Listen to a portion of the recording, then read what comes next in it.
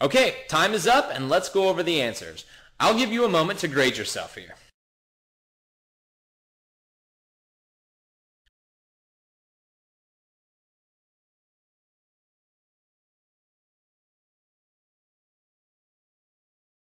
We still have a lot of material to cover, so I'm going to go over the answers rather quickly. But remember, we'll cover many practice passage questions that are specifically your level in our live workshop titled Reading Passage Keys.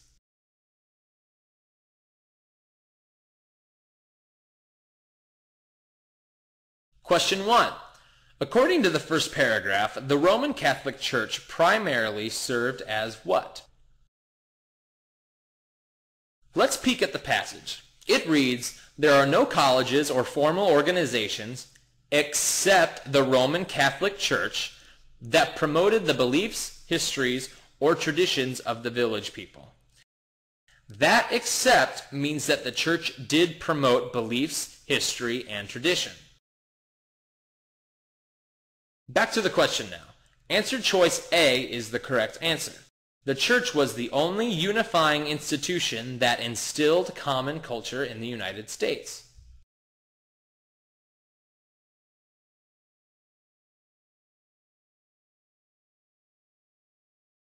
Question 2 now.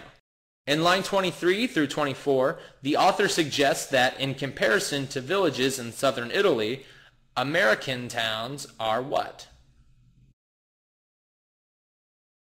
Let's search for some inspiration. The passage reads, The importance of family life in southern Italy is difficult to compare with anything in our modern experience, for even the smallest American towns do not develop such close relationships between towns and townspeople. Back to the question. That's why answer choice B is correct. American towns are more impersonal. There aren't as many close relationships.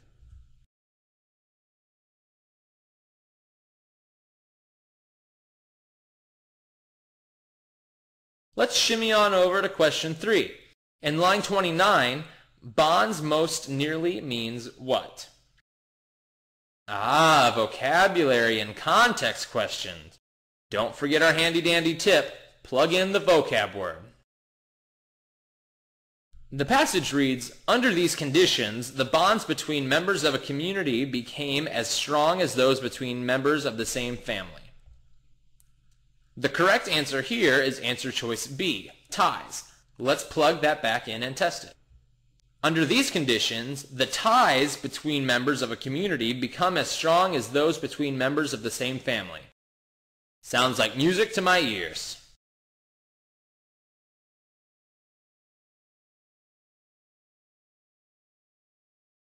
Now lastly, question four, another fun three-pronged question.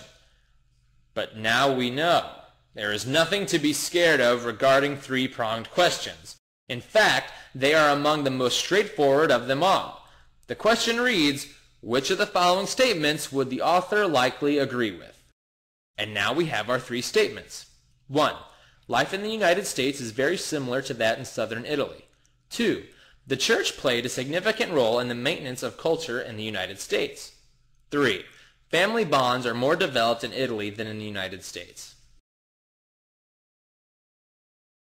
Heading back to the passage.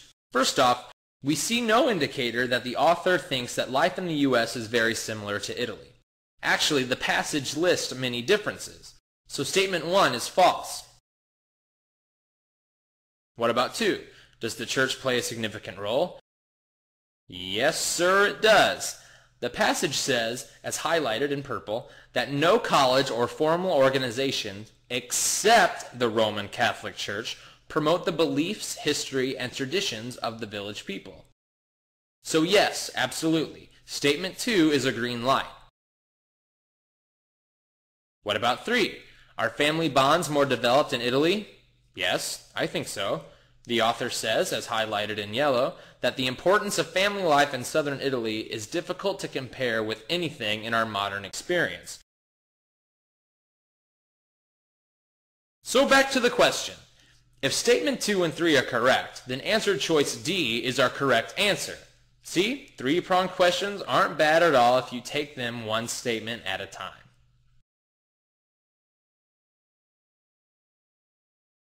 And now, just before we wrap up critical reading for this entire video series, I want to give you some quick review of literary terms.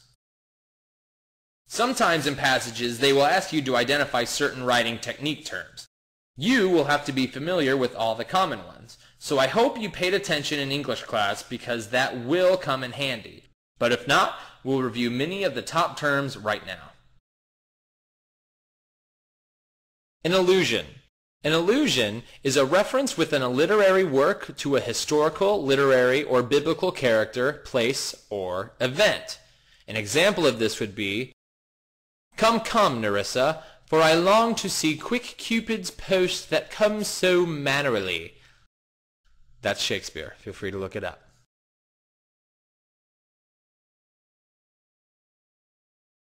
An idiom is a common expression that has acquired a meaning that differs from its literal meaning. An example of this is, it's raining cats and dogs, or that cost me an arm and a leg. Can't use your arm and a leg as currency.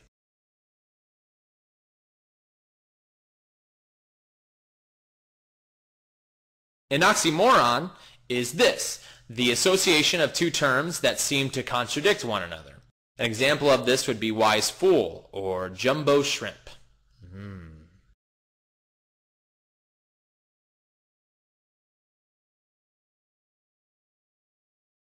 A paradox, a statement that seems contradictory on the surface but often expresses a deeper truth. An example of a paradox would be, all men destroy the things they love.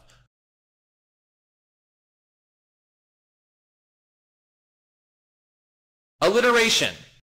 The repetition of similar sounds, usually consonants, at the beginning of words. An example of this would be sweet, scented stuff.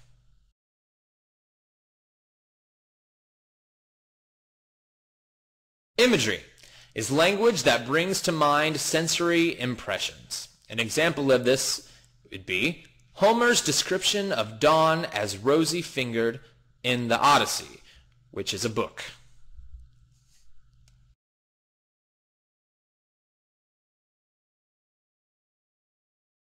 Caricature. A description or characterization that exaggerates or distorts a character's prominent features, usually for purpose of mockery. An example of this would be a cartoon of Abraham Lincoln with a giant top hat, a very thick beard, and extremely sunken eyes. Go to your nearest theme park to find one.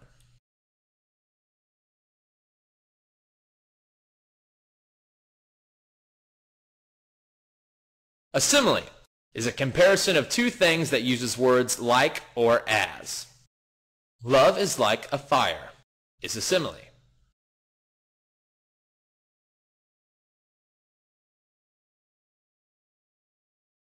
A pun is a play on words that uses the similarity in sound between two words with distinctly different meanings.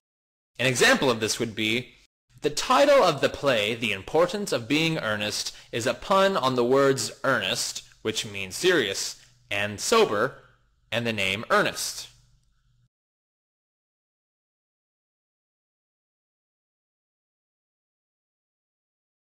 Personification.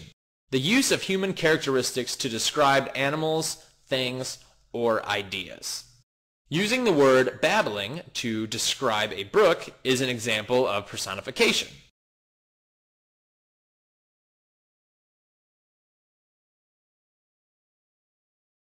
Cliché. A formal expression that has been used and reused so many times that it's lost its excessive power. An example of this would be happy as a clam or eyes like a hawk.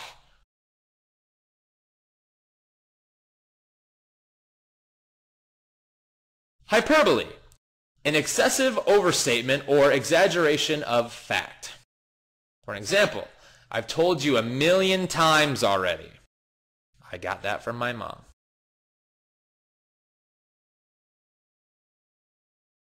And irony. Irony usually emphasizes the contrast between the way things are expected to be and the way they actually are. An example of this would be medieval people believed that bathing would harm them when in fact not bathing led to the unsanitary conditions that caused the bubonic plague. Take a shower, people.